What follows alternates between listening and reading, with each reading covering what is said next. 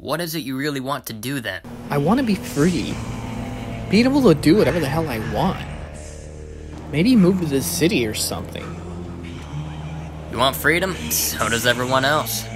Just don't trust a goddamn city of broken dreams to give it to you. Well, what do we have here? You're the new kid on the block who has a price on his head for icing some poor bastard in a liquor shop. What brings you here? You have to be a VIP to be in this club.